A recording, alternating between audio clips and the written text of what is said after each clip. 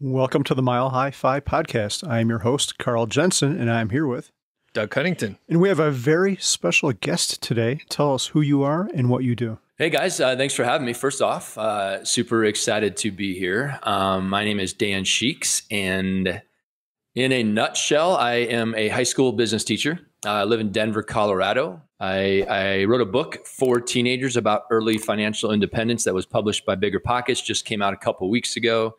There's also a workbook that goes along with that. And I also facilitate an online community for young people who are interested in early financial independence. And it's called Sheeks Freaks. And that's my gig. That's what I do. Yeah. Yeah. And before we open up, I'd like to mention I was at your book release party at the Bigger Pockets headquarters a couple weeks ago. And I guess I went there with no expectations, but I was kind of surprised because a bunch of your tribe, the Sheeks Freaks, were there. So all these. Young, super enthusiastic, I'm dating myself here, but I'm going to say kids were had flown in. A lot of them, I think one was a couple were from the East Coast and some were from California. All these people who were connected with you were there for your book release party, and I was not expecting that. So one of the things I want to talk about later in the call is how you actually connect to eh, these younger kids because I think they are the hardest ones to reach, and I've been wildly unsuccessful as far as I know in, in those own in my own efforts to do that. Yeah, our, our Sheeks Freaks community is is amazing. Um, full of young people from across the country, and, and, the community is really 15 to 25, kind of that that age range. Um, and it's been going on for about two years, and uh, yeah, we've made some great friendships and connections, and it's fun for me to watch these young people just crush it, and and they are doing exactly that. Yeah, Doug, I'm not sure what you were doing when you were 15, but I sure as hell was not learning about personal finance. I remember I liked to read, and my parents got the newspaper, the old paper thing that showed up your house every day, and I'd always toss the the business section like I have no, I could, could not care less about this. But yeah, let's talk about you. Let's talk about your background a little bit, Dan. Uh, where did you grow up? What was your childhood like? And did your parents teach you about money? Um, yeah, I grew up in Iowa. Um, my parents were divorced and so in my house, it was basically my mom, uh, my sister, and myself. My sister is one year younger than I am. My mom did, I think, the best she could to teach us about money, and, and it was, she did an okay job. Uh, I definitely learned to be responsible with money, meaning that I always paid my bills on time. I didn't spend a lot. You know, I, I think frugality was kind of part of our household, but didn't really go much beyond that. And, and, I, I mean, I think that's pretty typical for for everyone. For most people in our country, we don't either at home or in school, we don't get much beyond just some basic money advice or or background. So um, it wasn't until years later that I kind of like you guys, you know, found the different tactics and strategies involved with early financial independence and started investing in ways to build wealth. So yeah, Pretty typical, I'd say. And you had two separate stints in college. Can you tell us about that? Yeah, I, I, I, did my undergrad at a small college in Iowa and got a degree in marketing, a business degree. And really, I just wanted to, I didn't know what I wanted to do. And I think that's pretty typical as well for young people who are in college or on their way to college. Um, and so business made sense to me because it seemed like a pretty a degree that could serve a lot of purposes. Um, and also, I wanted to make a lot of money when I was young. I mean, I think that was my main goal. I just wanted to be rich, but didn't really put a lot of thought into that. And then in my later 20s, decided to go back to school to get my license to be a teacher. Um, I think I kind of grew up, but you know, in my early 20s, I did some traveling and um, experienced life and met people and and kind of realized that making a ton of money wasn't maybe the most important thing uh, in serving, making a difference, having a job that would be fulfilling was more important. And so decided to be a teacher, a high school teacher, and teach business classes. So I went back to school. Um, at that point, I had moved to Colorado here. So I went to Colorado State University, got my teaching degree, and started teaching. I think I started teaching when I was 29 years old. So I have a follow up question. You said when you were young, you wanted to be rich. What was your image of a rich person like when you were young? Oh, that's that's a great question. I don't I don't really know that I had an image. I, I think it was more of a you know, someone who didn't have to stress about money, someone who didn't have to think about every nickel and dime they were spending and how that would affect other purchase decisions. So someone who could just live life, buy what they wanted to, do what they wanted to, and not have to stress about money. I think that's kind of what that's kind of what I wanted. And I, I've come to realize that you don't have to have millions and millions of dollars to achieve that. You just have to have financial independence. Yeah, and that, that was a pretty great definition of rich for a young person. I remember when I was a kid, my grandmother, my maternal grandmother lived near me, and whenever we went to her house, she would always have, if the time was right, she would always have this show on called Lifestyles of the Rich and Famous, this Robin Leach English guy. Oh, Did yeah. you ever see that or Oh yeah. Yes, I've seen that. Yep. Yeah, and I remember I think the opening was like he's on a yacht and he's got champagne and and these shows showed what the this show showed what the mega rich live, live like, all these huge mansions and fancy cars and all that. So when I was a kid, that was my image of, of a rich person. We have to live in some massive house and fly around in a in a helicopter. And, and then you grow older and I remember reading The Millionaire Next Door, and it turns out that that rich people don't live like that. And in your book, you even mentioned it. They went to the upper middle class neighborhoods. And it turns out those people, while they looked rich, they weren't actually rich. It's the people who live a more modest lifestyle that have all the money. Yeah, great book. That that's a great book that you mentioned. Um, and I quoted a few times in my book. Yeah, I think the people who are millionaires, the millionaire next, door says, you know, they're not people that you would typically guess, and the people who have the flashy lifestyle are typically also people who don't have a lot of net worth, a lot of wealth built up. They just because they spend everything they make, and so it kind of goes back to that that choice. You can either look rich or you can be rich. Now, the lifestyles of the rich and famous. I do remember that show with Robin Leach. Uh, those people are a whole nother, you know, that's like the top 1% of the 1%. So they're, that lifestyle, I, it was never one where I thought I could or wanted to achieve that. Those people are just uber rich and I don't think I'll ever know that world. And that's okay. You mentioned that you started teaching when you were 29. So, what were your 20s like? What kind of work were you doing? You mentioned you traveled a little bit. Can you expand a little bit on the 20s? Yeah, when I graduated college, I was 21. I just wasn't ready to get a real job yet or, or a corporate job.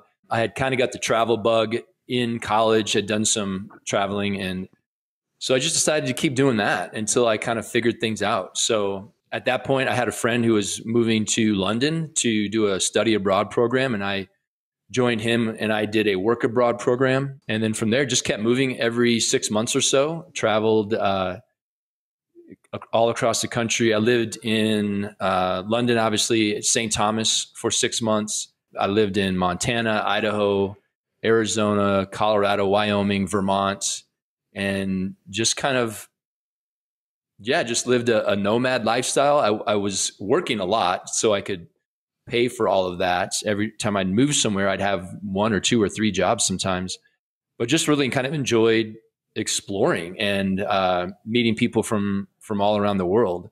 And that that was a lot of fun. I wouldn't trade that for anything. It definitely prolonged my journey to financial independence, which I didn't even know was a thing back then.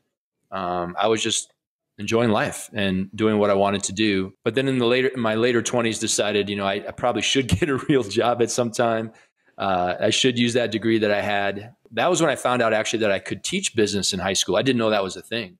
And once I found out that was an option, it kind of all just worked out. And I said, well, teaching sounds like a great job because it is fulfilling, it is rewarding. I, I would feel like I was making a difference. And if I can teach marketing and business, which is what I was really passionate about, then that just made sense to me. So went down that road. So I'm kind of curious. You went for a business degree, but then I guess you do kind of use it now because you're a teacher who teaches business, but mm-hmm. you never had a job doing the books or I, I, don't know, even know what a business major does. You didn't do, you didn't work for a marketing firm or anything like that. Did you ever have any desire to do that or did the education turn you off from that? Yeah, I, I never really did have a full time, permanent marketing or business job. Uh, I had some temporary ones as I was moving around. It just didn't the the nine to five until you're 65 grind uh, and doing that 12 months a year just never it just wasn't something I wanted to do. And so teaching one of the draws to teaching honestly was that I got my summers off. I had, you know, fall break, spring break, winter break. and I thought, well, I could use that time to travel, especially the summer. You know, having a couple months off in the summer, I could still do the traveling that I wanted to do, but also have a full time permanent job, make a good income, and kind of have the best of both worlds, I guess. What do you invest in? Yeah, so today my wife and I we invest primarily in index funds through a brokerage account and real and mostly real estate. I'd say we're probably 75% into real estate, 25% in index funds. We we stopped actually we stopped uh, contributing to our retirement accounts. We both have a Roth IRA. I have a a 401k through my employer, and they're still there, but we stopped making contributions to those. And when we found real estate investing six years ago, we uh, I wouldn't say we went all in, but we definitely ramped up our our investing on that end on that side of our portfolio and and still do today. And we we've stopped contributing and it's actually been a few years since we stopped contributing to retirement accounts. Can you talk about your decision to do that since that's sort of the, the like that's the go-to like got to max out all your retirement accounts as much as possible. Mm-hmm. So how did you guys arrive at it and what do people need to think about if they're thinking they want to stop doing that too? Yeah, that's a good question. Um, you know, I think retirement accounts is is a hot topic in the FI community, and, and as it should be. I think because everyone's strategy is a little different, and so what we decided for us, and this isn't necessarily what's best for everyone, but we decided, you know, we we weren't going to work till we were 65. Uh, my wife is actually retired already. Um, we're in our 40s. I do still love teaching. I, I I love my job and I love working with my students, and so I see myself doing that for a few more years. And so when we decided to start, we just, a retirement account is a great tool. I, I, have nothing against it, but it is set up to really start. I mean, your money's tied up till you're 59 and a half or, or older. And, and we wanted access to our money before then. We wanted more control over what we were invested in through our retirement account. There's, there's a limited amount of things you can invest in when your money is in a retirement account. We wanted full control. We wanted access to our money whenever we wanted it. And so, you know, again, we didn't pull our money out. We didn't, uh, our, the money that we had in those retirement accounts is still there and it's doing well. But we just, you know, decided to, you know, any, any future investments would go towards index funds through a brokerage account or real estate. And uh, I don't regret that decision. So, Doug, a follow up question for you. I didn't know you had stopped investing in your accounts, is it similar? What is your reasoning? Exactly that. Yeah, the money's tied up. It's made to not get to for a little while. And I know there's some ways around it, but I don't want to jump through all the hoops. And the other part is we maxed out a lot of stuff right when we got jobs. So that we have a lot of money in those accounts. So we felt comfortable um, in, you know, 30 more or 25 more years when we would touch it to really have a lot more than we would need at that time. So yeah, we have taxable brokerage accounts um, that we put our money into now. Okay. Yeah, one thing I think people don't talk about enough is when I think capital gains started around a little bit over eighty thousand dollars. So a post tax holding investments post tax can be great, and that's after the standard deduction. So you can make over a hundred thousand dollars, sell stocks every year, and not pay any capital gains. And I don't think that's even being that frugal, living off $100,000 a year and no capital gains whatsoever. It's kind of similar to a Roth in that you've already paid your taxes because you're investing the after tax money. Yeah. Yeah. And it just made sense to uh, have more flexibility, even if it wasn't the optimum like investment strategy. So, yeah. What was your biggest money mistake, Dan? There's a few. Um, the the biggest mistake. I mean, I I think I definitely bought a few brand new cars in my 20s and 30s. I regret that. Um, I will never buy a brand new car. I, I shouldn't say never. Never say never, but uh, it's not on the radar to ever buy a brand new car. Buying a four or five year used car, I think, is much more financially savvy.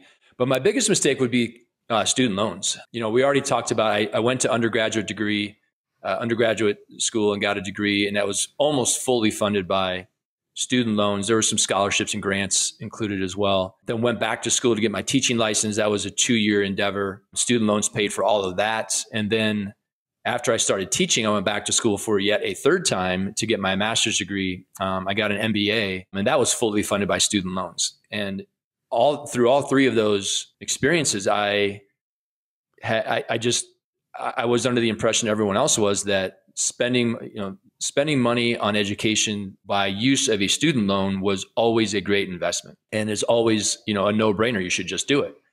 Uh, and so you add up those three endeavors and i consolidated all the student loan debt into one loan soon after i finished grad school it was a lot tens you know 50 60 thousand um, dollars which isn't as much as some but it was it was it's a significant amount when you're a public school teacher. And so that handicapped my financial um, picture uh, for for decades. And um, you know, I, I, I don't regret the way everything worked out, but I definitely advocate now that young people explore different options to pay for college and are are informed about how student loans can and will affect their financial future before they just automatically decide that a student loan is is a, is a great tool because it can be, but it's not always the best. Why did you go back to get an MBA? Yeah, and I, I don't think I would recommend a graduate degree for many people, but as a as a public school teacher, and I think this is pretty universal across the country, but obviously in Colorado where I'm at, it's it is true that once you get an advanced degree, your your annual salary goes up. It's it's the one way that you can start maximizing your salary as a teacher. So it it was a, a, you know I, I analyzed the return on investment of the master's degree versus a career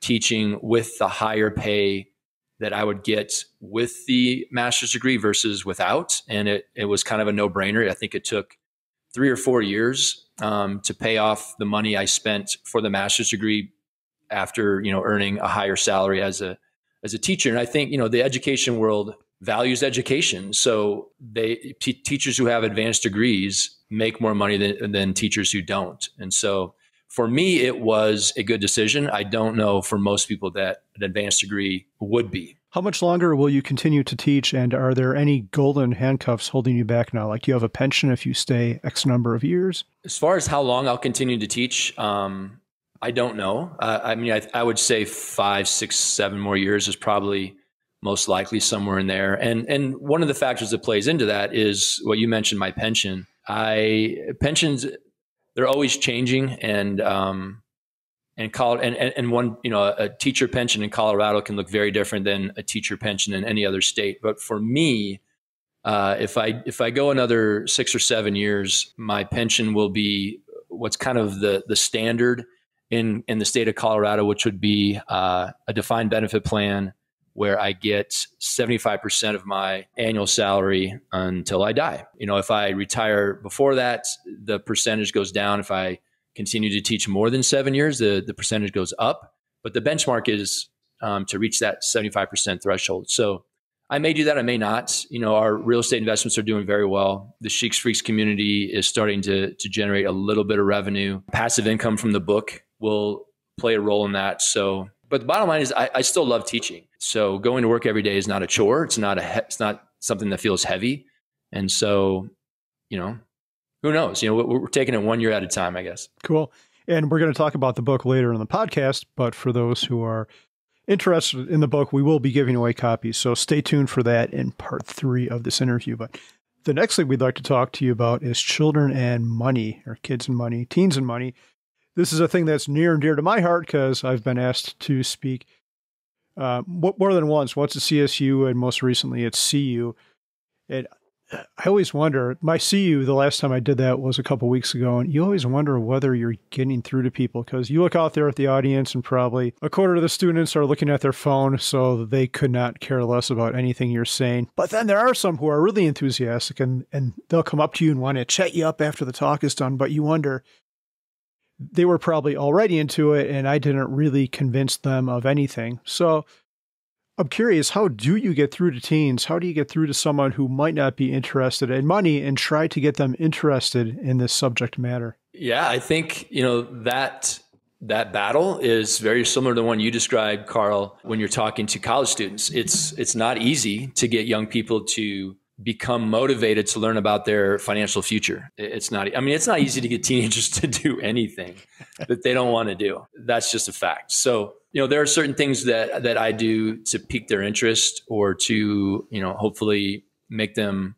more likely to become interested. But at the end of the day, um, I cannot make a teenager want to learn about money. But, you know, I, I think in my in the Freaks community and, and in my classroom too, because I have taught personal finance as a class, talking about things like early financial independence, that option of not working until you're 65, that can get the attention of young people, I think, pretty quickly because they're not aware that there's another option. I, th- I think the vast majority of people in our country believe there's only one option, and that is to work until you're 65 and then and then retire and live the good life. So laying out a foundation or or an option of where early financial independence is something that's achievable and, and it's even an option at all is something that can interest young people. And so I bring guest speakers into my classroom who are young and who have reached early financial independence at an early age.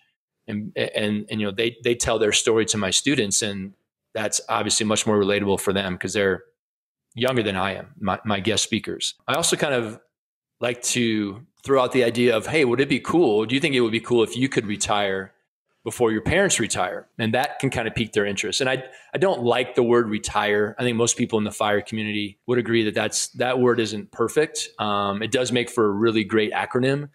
Um, F I R E. People who reach early financial independence don't generally stop contributing and producing and working all together. They, they just choose to do those things on their own terms. And so presenting that as as an option or as a possibility of hey you could you know if you follow certain strategies and do things a little differently you could reach financial independence before your parents do. And wouldn't that be kind of cool? And they you know a lot of young people think that is kind of a neat idea. Not that it's a competition but that that will pique their interest as well. So it's just you know between guest speakers and now honestly with social media um, the young people that i find who are most interested are highly involved with TikTok influencers, YouTube channels, um, Instagram uh, accounts that are in that space of early financial independence or some subset of that topic, and and they're highly involved with those um, those accounts, and and they're following and, and engaging with those. So bringing those into the classroom or those into the the discussion also can be really um, effective. What kind of pushback do you hear from the students or younger people. We we do sound very old, young young kids, you know. Yeah, what kind of pushback uh, do you hear from them in general about the idea of early financial independence? Yes, um, not much, honestly. I think it's one of the things about working with young people is they're now maybe to their detriment sometimes they're much more accepting of different ideas uh, and maybe just a little more trusting than you know that life hasn't smacked him upside the head too many times yet. And so, you know, I have to be careful with that. As a trusted adult, you know, I need to be careful that I'm not selling them a bill of sale to something that's not a proven method. But early financial independence absolutely is. And I also always say, I said this in my book throughout the book, I say this in my classroom, I say this in my community all the time that early financial independence is not for everybody. Entrepreneurship is not for real estate investing is not for everybody. Everybody's path is different. I, I, never tell anybody what to do. I my my mission, I feel like, is to explain that there are other options than the typical American dream pathway and to educate them a little bit on what those other options look like, and then to say, now it's up to you to decide which path do you want to walk early FI sounds interesting, then let's let's further the discussion or here are some resources you can go to to learn more. But if you're not interested in early FI, that's that's totally fine. Um, it is not something you have to do. It's not something I, I would tell someone to do, and it's not for everybody. the The typical path of working until you're 65, there's nothing wrong with that. I say in my book, it's a very noble way to live, and it's worked for millions and millions of people. And so, if that's the path that you envision for yourself, then that's fine. There's nothing wrong with that. Yeah, I don't think there's anything wrong with it. But I will say that I've heard some people use that as an excuse. Well, I love my job, but I just want to work my whole life. And I think that's fine too. But I don't think you should use that as an excuse for not having your money together and maybe having a little postponement postponement of gratification so you've got that nest egg because as much as you like your job, your job might not always love you. Someone might get sick. Uh, a big pile of money in your back pocket is the ultimate is one of the ultimate insurance policies in your life. You can deal with anything that comes your way, good or bad. You don't have to go to the Mexican Riviera and live on a beach. You can use that money to take a sabbatical to write a book you suddenly discovered you want to write, or take care of an el- an, an elderly relative. So, yeah, that's one caveat I'd say to what you just said. There's uh, there's a lot of value to learning about how to get money right. Yeah, and I agree with that. I think um, the more basic personal finance topics, like you mentioned, Carl, uh, emergency funds, saving and investing, um, planning for your financial future, those things I am more urgent about with with my students and, and the members in the community, and saying that pretty much all of you should be doing some level of this, especially like you said, the emergency fund or plan at least planning and thinking about your financial future to take it to the next level of early financial independence, that becomes more optional. Do you think there's humans who are natural born savers versus spenders? Um, I don't know that I've ever thought about that. There are definitely are people who fit into one category or the or the other. Are you born with that trait? I don't know. It's probably more learned. It's probably a behavioral uh, habit that's picked up from your home environments. Although that's probably not true 100% of the time? Yeah, I don't know. I don't know. I don't know the answer to that question. I, I think some people are probably more conservative. And so they probably,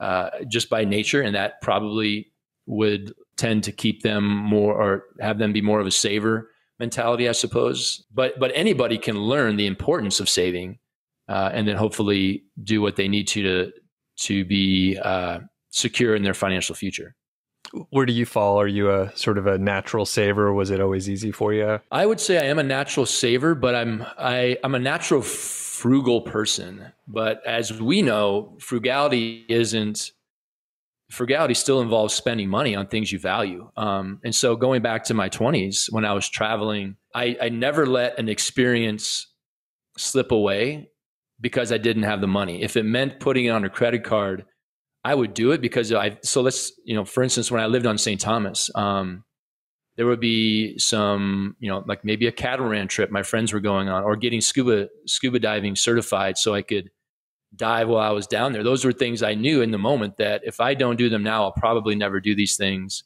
or have these, have these opportunities again. And so even though maybe I couldn't quite afford it, I valued it. And so I still spent the money. But I was never spending money on fancy cars, fancy clothes, fancy restaurants because I didn't value that. And so I would say I'm frugal, but I I spend lavishly on things that I value. I have a really nice mountain bike that I ride all the time here in Colorado. Um, most people would say that might be a waste of money, but for me, it's not because that's something that I it's a hobby that I really enjoy. Mostly, I'm just I'm just frugal. So one of the things I really wanted to ask you about was you know what? I guess I'll back up a second. So when I first started investing was right around 1999, 2000 when I had my first real job. And, and back then, the big hot investment was the internet. So you had all these companies that had zero fundamentals, but people got tied up in them and were super excited and put money into them, including me. I remember I had one mutual fund. It was called Munder NetNet. I bought the thing for $10. It went up to $120. I'm like, whoa, I'm going to be rich. This is awesome and then it went to zero. So I, I think about the state of the world now, and perhaps we might get some hate for this, but perhaps the the thing most similar to that now are these memes, meme stocks and crypto. I imagine y- your students bring that stuff up all the time. Is that true, Dan? And what's your response to that? That's a great question. Yeah. Um, meme stocks, crypto, NFTs, all of those things are really hot topics with younger people who are, you know, thinking about money or investing investing. I don't invest in any of those things myself. That's not to say that it's not a good investment. I just don't know enough about them to make an educated choice uh, if I should and, or should not invest there. So in my book, I talk about investing in cryptocurrency like Bitcoin. And I, I tell the reader, who again, likely a teenager or a young person, I say, you know, Warren Buffett has some good advice. Don't ever invest in something that you don't understand. And I said, so let's take that advice and apply it to crypto. So I tell the reader, go to your parents and ask them, do you understand how cryptocurrency works? They're probably going to say no. Most people, I think, would say no. All right. And so if that's the case, then explain to your parents how cryptocurrency works and how how that investment is a solid investment. And then when you're done, ask your parents and say, "Do you now understand how cryptocurrency works?" You know, now that I've explained it to you. And if your parents still don't understand, if they're still very lost, then probably you don't quite understand it as well as you should in order to be investing in it. So until you really do understand all the pros and cons, ins and outs, upsides and downsides of cryptocurrency investing or NFTs or meme stocks, then I would keep your money away, at least any money that you wouldn't be okay losing forever. But I'm not going to tell someone not to invest in. it. If they truly understand it and they have analyzed it properly and they think it's a great investment, then go for it. And, and obviously, some very, very smart people think that is the case, but don't just follow that that crowd blindly and say, well, if Elon Musk is investing in cryptocurrency, then it must be safe and I should do it too. You need to do your own research and analyze it for your own goals and decide if it's good for you. Doug, have you come out with your Dougie coin yet? Not to be confused with D O G E. They say Dogecoin, I think, for that, right? But you're going to have Doug coin, but you might be able to benefit from some of the confusion. Someone might go out to buy D O G E coin, Dogecoin, whatever the hell that is, and end up buying yours just because they got confused. And if you get the mask like that, I think it's a Japanese dog, right? The Dogecoin, the mascot for it.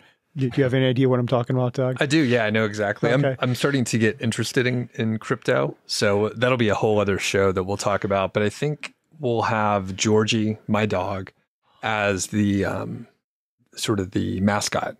That is brilliant, Doug. Thanks. It does need to be a dog. Yeah. I think. I think we might end up mm-hmm. having multiple shows on this, and and Georgie can be a guest on that episode where we announce your ICO, your initial coin offering. She has a lot to say on it.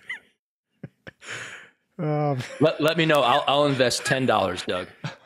All right, how, I, am all in for ten bucks. How many coins will ten dollars get? I'm, I'm curious I think for a myself lot. too. I okay. think a, a, very large number. Really? Yeah. Wow. I'm not sure.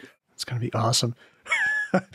What has surprised you most about teaching students about money? I, I think that's a good question. Uh, probably the most surprising thing is is how varied young people are, not just with their interest level, but with their background. Especially in the classroom, you know, I have students who come in who who don't know anything about money. I mean, literally nothing. Their households, their parents have taught them nothing.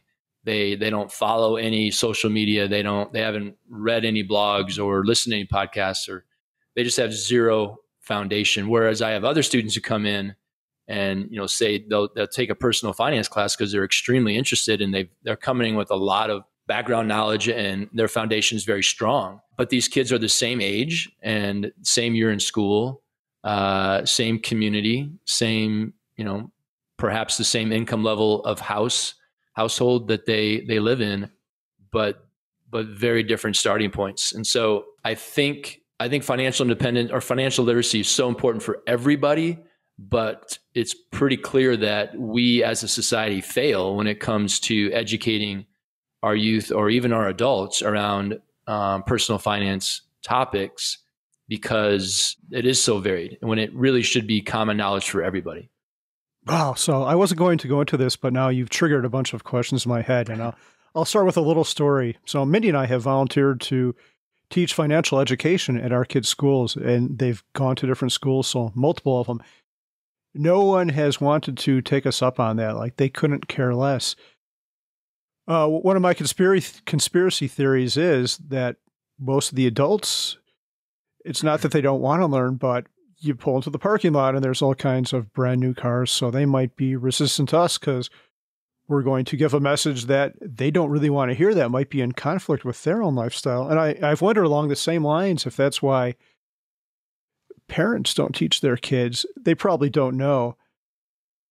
Uh, yeah, and that's part of the problem with our society. We can't learn from our parents because our parents don't know, but a lot of these messages would be in conflict with the way they're living as well. So I guess that's a long winded saying of why don't we teach more financial concepts in school?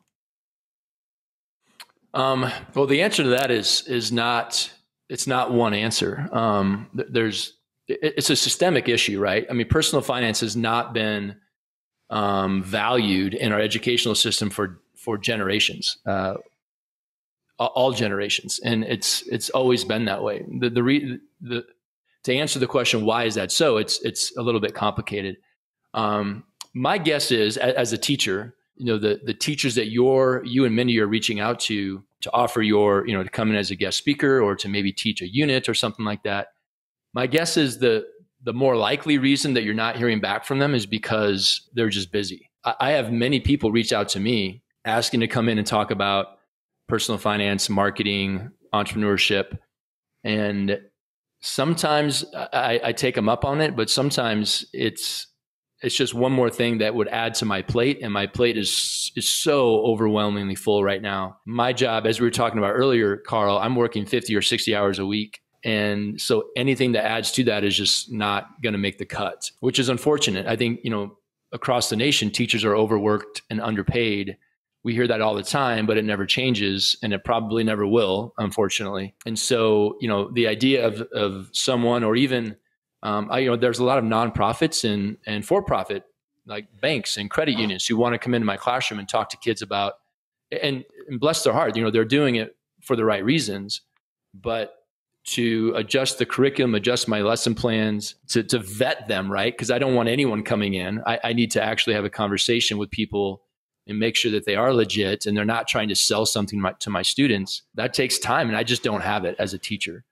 But going back to the reason why financial literacy isn't taught in schools, you know, some people like to think there's a conspiracy theory behind that. And, and there might be, but I think the more, the more likely the reasons, and this is based on a lot of research and a lot of interactions I've had over 20 years, the, the number one reasons that it's not there is, be, is because of money and politics uh, unfortunately, those and those reasons are why things don't happen for in a lot of different other areas as well. But public education is severely, severely underfunded.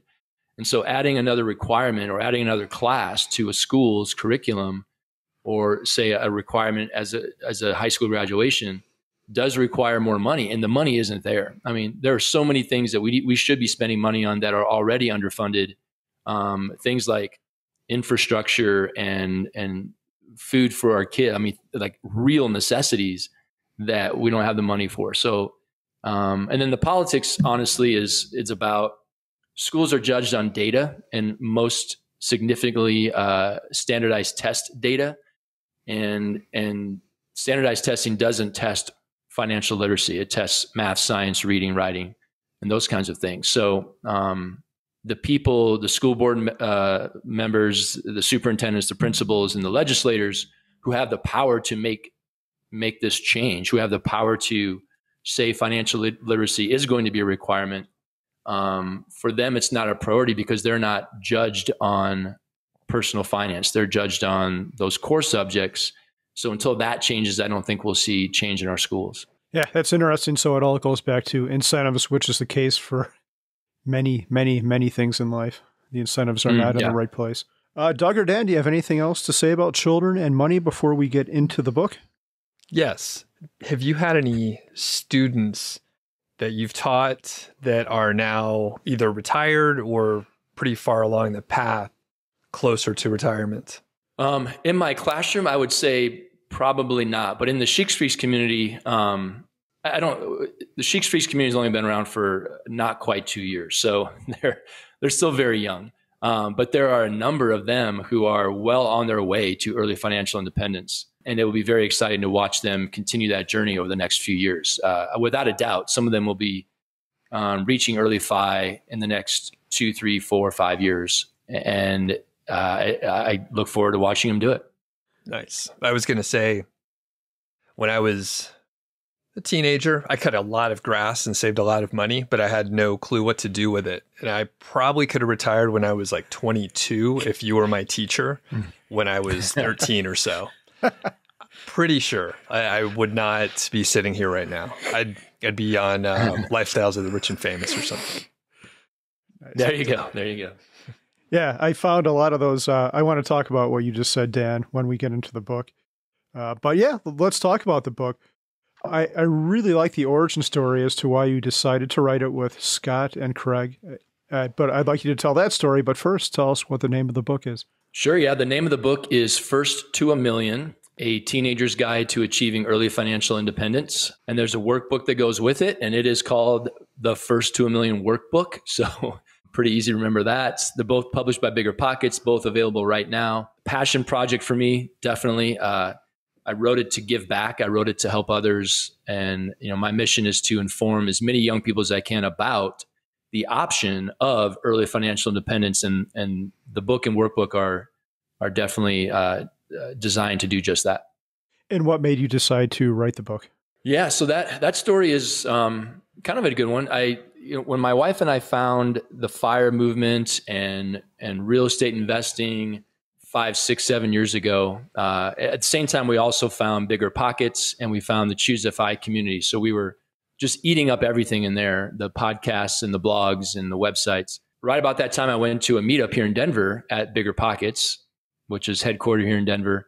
My wife and I went and we met Craig Curelop there, who at the time had just started working for Bigger Pockets in finance for them he was maybe 25 at the time and he was you know just in that conversation we had with him that brief conversation i i knew right away i said i need you to come into my classroom and talk to my students about all these things you're doing. He was house hacking frugality. Um, he had some side hustles going on. And so he agreed to do that. He came into my classroom and talked and it went really well. Um, and so i said i want you to come in next school year. I want you to come in on a regular basis and talk about these things with my with my students. And he said absolutely. I'd love to do that. And he said i i actually think my boss scott trench will come in with me because he's really passionate about spreading this this knowledge to young people as well. And i said fantastic. Let's have you both come in.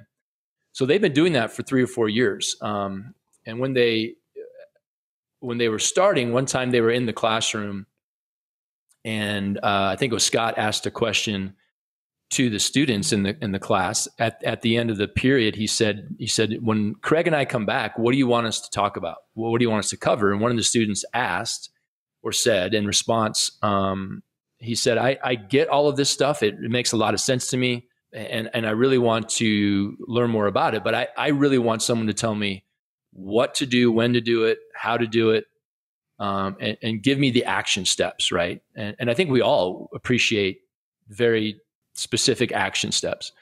And that made sense to me. So I got the idea of creating a checklist for my students in the classroom. Um, and, and, that topic was we were, I think the day they were there, they were talking about house hacking, um, with, which both Scott and Craig have done. And so I thought about, well, I'll make a checklist for my students about how to go from where they are now to their first house hack.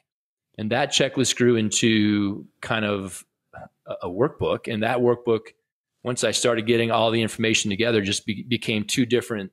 It was so much in there; it had to be two different books. So there's the the book first to a million, and then the workbook that is kind of part two of that. Um, but the idea of writing a book, I never thought I would write a book. But Scott had written uh, Set for Life, and Craig was writing at the time the house hacking strategy. And you know, I it's all about who you surround yourself with, right? That that Jim Rohn quote that you are who you spend the most time with. And when I started spending time with Craig and Scott and they were writing books, I thought, well, why don't I just write a book then? Why don't I just write a book about this for young people? That's my niche. That's my wheelhouse. That's my passion. And if, you know, that just kind of ties in real estate investing, personal finance, early financial independence, um, and put that out there into the world and see if it can help some people. So I think that's that's the story you're referring to. I think that that is it. How long did it take you to, to write this book? It's very thorough and very well done. The whole time I was reading it, I'm like, how did Dan do? Did you do it in the summer when you were off, or multiple summers, probably, if that was the case?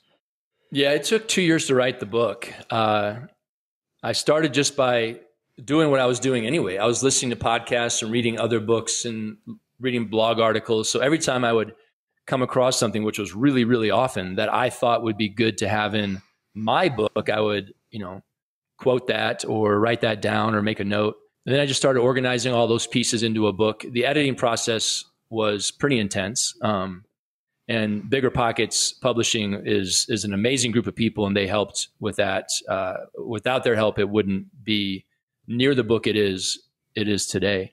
Uh, so it was took about two years to write it, and then another year to edit and design, which again was mostly on the Bigger pocket side. That's that's what they were doing.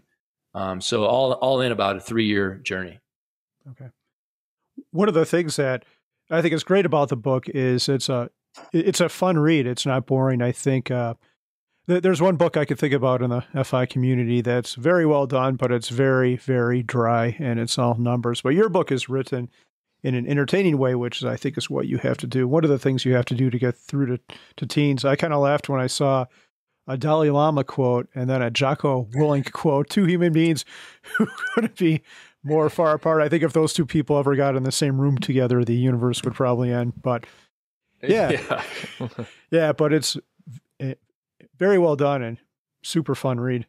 As a teacher, I think one of our superpowers is the ability to explain things so that every student in our, classroom understands it or, or, gets what we're talking about. That's a skill that's that's learned over many years. Um, I've been teaching for 19 years, so I think that definitely came through in the book. As I was writing the book, I, I wrote it in a way in my mind. Okay, so if if a 14 or 15 year old is reading this book and they're starting from again a clean slate, they have no money foundation at all.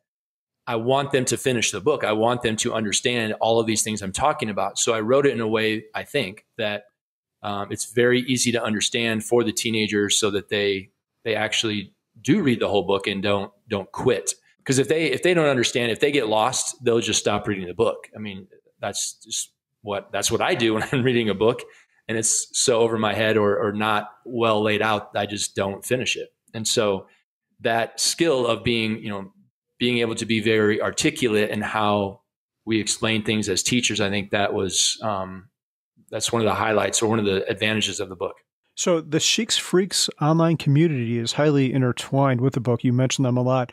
How did that online community come about, and where can people find it? Yeah, it started um, a couple years ago. Uh, I was just connecting with young people, actually through Bigger Pockets, mostly in the forums, uh, and I just had this burning desire to help young people learn about early FI.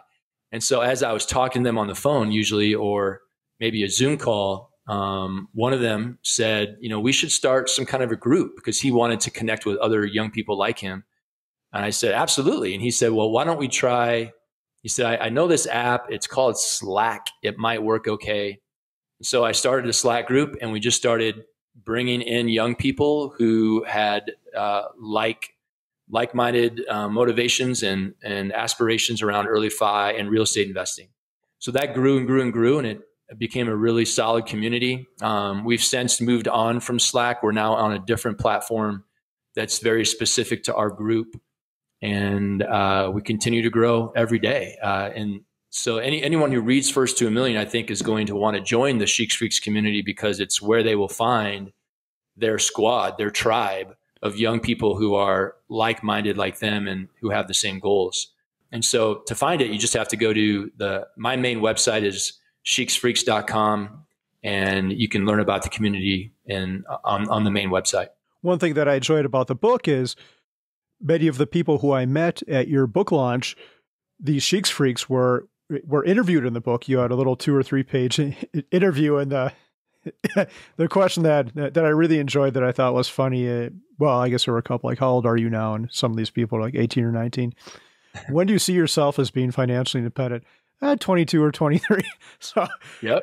So I think that's great. And I don't know if they'll actually make that 22 or 23. I'm a skeptic, so I'm slightly skeptical. But if they miss it by five years, they're still financially independent before they're they're 30. And how awesome is that? And from meeting them, I think the Jabbar one really stuck out to me. I met him at your meetup, just an incredible, young, dynamic, enthusiastic person. And then reading his interview, that guy might do it before he's 22 or 23, whatever his number was in the book. He is, uh, he is pretty inspirational. Yeah. Um, you know, I think to reach early financial independence in your early 20s I mean, that's a great goal to have. And if you get there, fantastic. I don't know that it needs to be the goal of everybody. Um, you know, maybe maybe the right goal for someone is to reach early FI at age 35 or age 40. That's still two decades or maybe three before the average person. Um, Jabbar's crushing it. He is full steam ahead, pedal to the metal. Uh, he owns two two real estate properties, and he's barely 20 years old, um, and he's not slowing down and uh, and that's that's his path. But that you know, a young person who doesn't want to hammer it that hard still has a place in the community. Um, and maybe maybe their goal is to buy their first property at age 25. great. You know, that's that's fine. That's that's not a wrong choice, and the Sheeks Freaks community will help you get there. So I have one final comment, and that is, how do you keep kids from being too obsessed with financial independence once they discover it? And maybe I'm looking at you again, Jabbar, if you happen to be listening. and I think of this in terms of my own life because I discovered FI when I was 37, and I'm I'm like, I just want to get here as fast as I can. This looks so awesome, but I don't think it should be people's primary goal in life. I think you should be able to live a life where you look back on on your deathbed and that you're happy and satisfied with the way you lived. And maybe that is the pursuit of happiness above everything. And financial independence can live to that, but you can't sacrifice the journey just to get to this endpoint. And I know you talk about this in the book. Can you elaborate on that a little bit more, Dan? Yeah, that, that's super important. That is so important. I'm glad you brought that up, Carl. That is, there are many people who have reached early financial independence, and then who, when you ask them what would you do differently, they, they say, I, I wouldn't have done it so quickly. I, I wouldn't have. And two that come to mind are um, Brandon the Mad Scientist and Grant Sabatier, who I, I, quote both of them in the book.